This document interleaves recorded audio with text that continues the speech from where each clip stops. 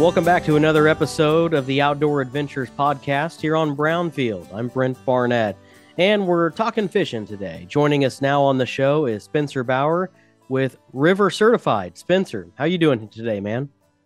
Well, like we were talking about, I'm I'm going to go fishing here shortly, so I'm pretty good. Yeah, can't beat that. What's the season been like for you so far? Here we are as we talk in mid-April. Have you been catching a lot of fish up to this point?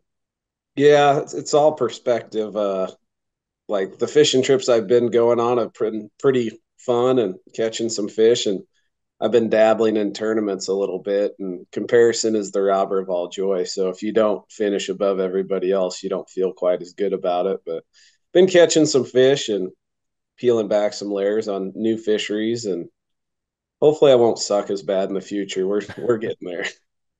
Are you focusing on lakes or rivers? What what what are you looking at right now? Um, river systems that uh, are a combination of a bunch of different reservoirs. That's pretty common down in Alabama, and then a lot of those southern fisheries where you just have a river and then just a chain of dams where they build reservoirs. So you have a bunch of different sections. You got river sections, you got reservoir sections, and then you got sections where they kind of transition. And that's that's been the hangup, like trying to find fish is wh- where are they at based on the time of year and water conditions. And stumble across a few, but not always the big ones you need. Can you talk with the listeners uh, about your story? Um, you know, where you grew up, how you got started fishing as a kid, and um, how that has transpired into what you do now with River Certified. Uh, I'm sure it's a lot like a lot of people who enjoy fishing. You you start off, and your dad or or or grandpa takes you to some farm ponds, and uh, you realize that you really really enjoy it real quick, and you want to keep doing it. And you know, you get a bike, then you get a a vehicle, and the your wheels expand your range and how often you get to go. And I, I grew up in southern Iowa, which is farm pond country and a lot of little dinky creeks, or not a lot, but a few. And uh, so I caught, you know, bluegills and, and largemouth and the occasional catfish. And I knew catfish got big, bigger than anything else I'd been catching. So I wanted to catch those and they fought harder. And then one, the day that I did get uh, my first bike and got the green light to go fish the the creek. That was kind of the you know the the upper echelon of fisheries in my area. So I got to go down and fish the creek by myself and chase cats around, and that's where I, I grew up fishing in high school, and then went to college and got busy with sports, but kept fishing anyway. You know, like it's I've been pretty steady on the water my whole life, but the last few years um, I was a teacher for a while, or actually like eight years, junior high, uh, junior high science, and then I've been full time uh, fishing guide and social media stuff for the past three years, and fish more now than I ever have. What about the the content you put out on your your YouTube channel? Um, what's kind of the the mission of your channel and some of the work that you do there?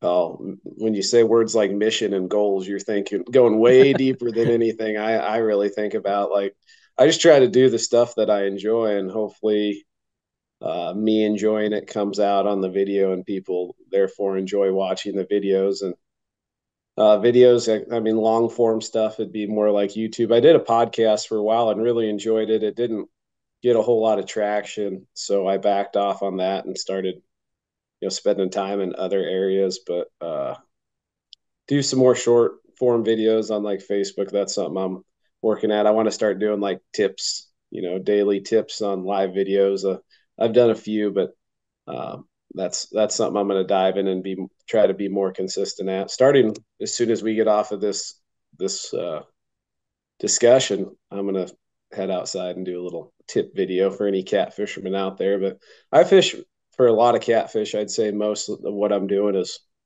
trying to catch big cats and uh, I do a lot of channel cat fishing. I really enjoy channel cat fishing. A lot of the trophy cat guys, they kind of snub their nose at the lowly channel cat, but I love them. You know, you catch them on appropriate size tackle, and that's a blast. And I do quite a bit of walleye fishing and wiper fishing, and just kind of try to take advantages of the seasonal fishing opportunities that you get wherever you're at.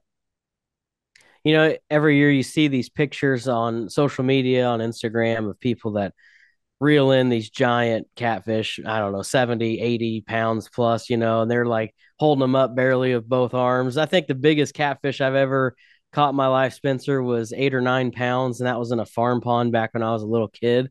Uh, always did a lot of bass fishing growing up, but um, can you describe to the listeners hooking on to a just an extremely large catfish, what that feels like, and just the power that they have? Well, to revisit what you just said, the best way to catch big catfish is to fish for big catfish. So I'm assuming you don't target them very much. Uh, That's true. That's true. Even if you do target them, they're they're tough to to catch on a consistent basis at times. I mean, there are times where uh, it can seem like there's an unlimited supply of big catfish in in the lake or river, but usually those are special circumstances and but uh, as far as tying into them, a lot of it just depends on the type of catfish. Like a blue catfish, they don't really nibble. Even the even the the smaller 10 to 20 pound, which for blue cats, that is a little bit smaller, is 10 to 20 pound fish. And they're fun. Don't get me wrong, but I mean, that's, that's crazy that that's your smaller fish. But when they, they don't nibble much unless they're really, really inactive, but they'll hit a, a rod and just completely demolish it. Like if you're bank fishing, you better have it tightly secured to something or have it in free spool clicker. Um, if you have it in free spool clicker, they're going to take off screaming a million miles an hour. And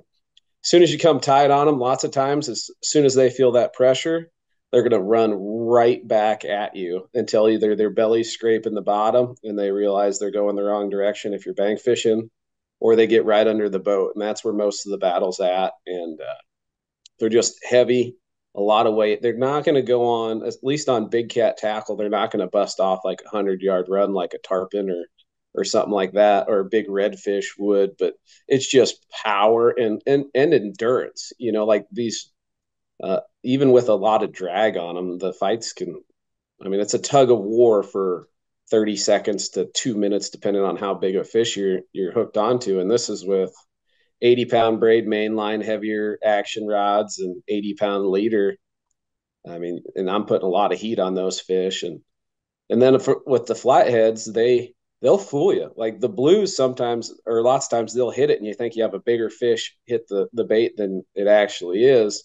Whereas the flatheads, I mean, sometimes it's hard to tell the difference between a two pounder and a 52 pounder. Like they kind of just grab the, the bait and your rod tip will just bob or if you have it in free spool clicker, it'll just steadily start to roll, just and then once you hook up, it's generally a fight from beginning to end. They'll throw big head shakes at you and make make that rod, you know, bellow up and down, throw that rod butt right in your stomach. And I mean, you better have a good grip on the fishing rod.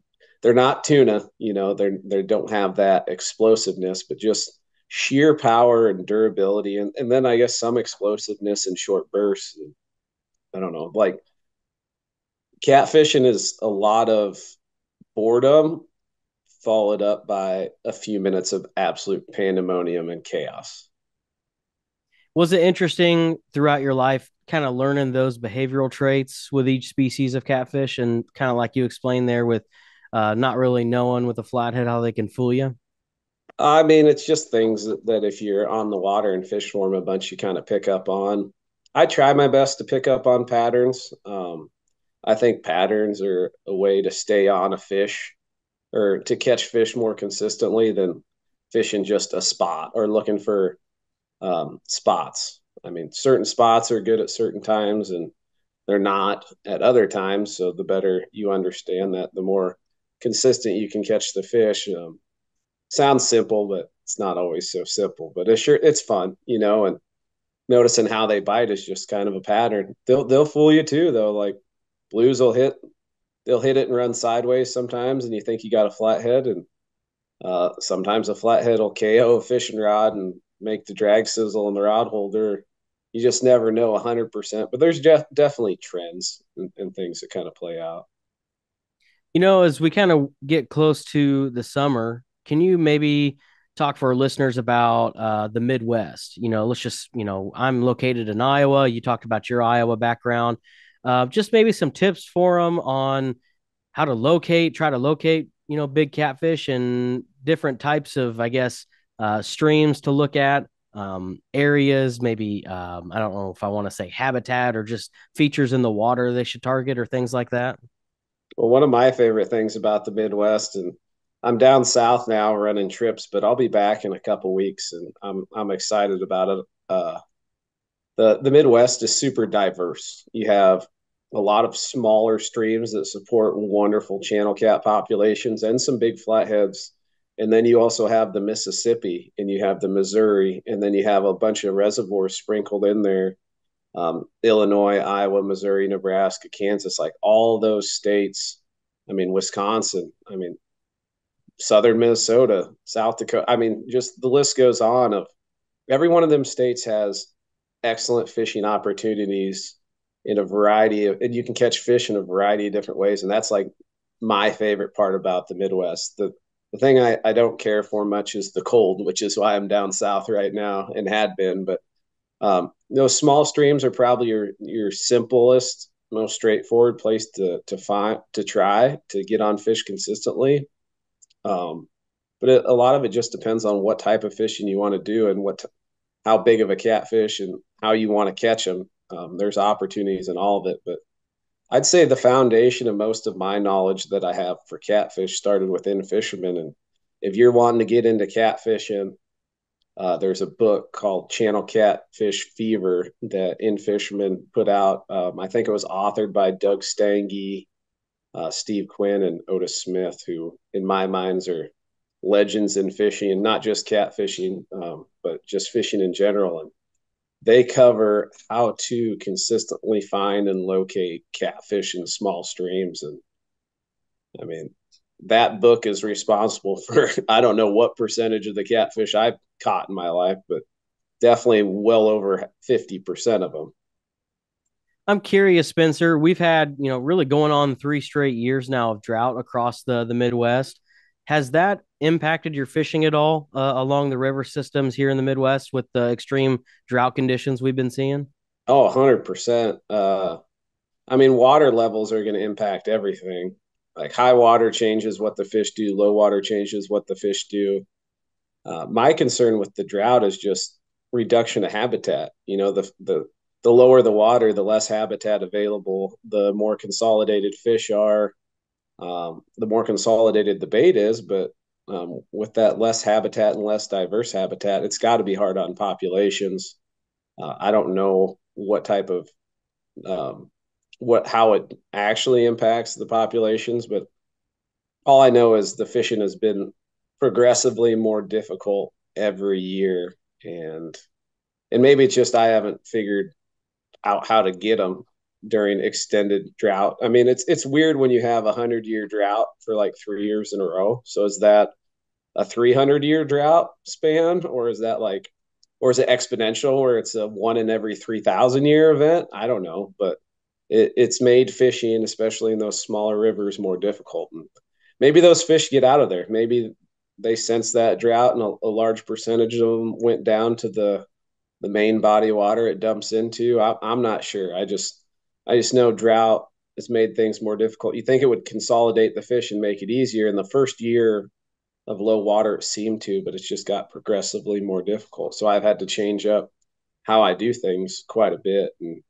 not that I've completely abandoned those small streams, but I haven't spent as much time on them as I, I had in years prior just because they haven't been as productive.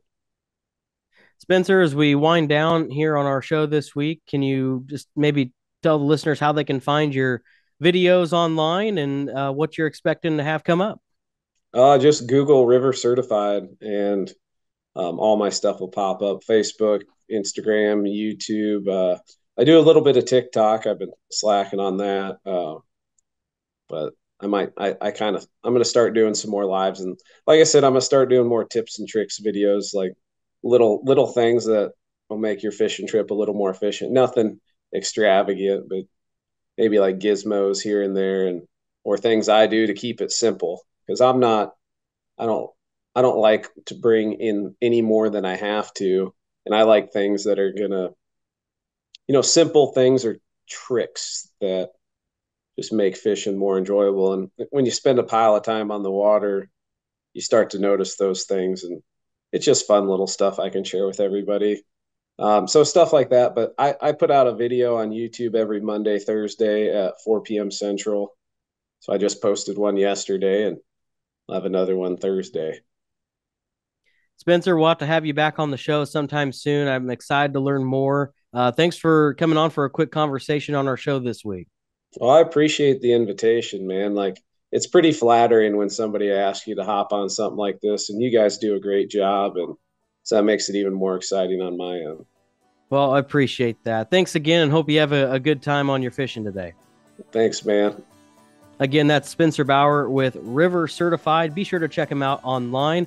And thanks a lot for watching our episode of Outdoor Adventures this week, right here on Brownfield Ag News.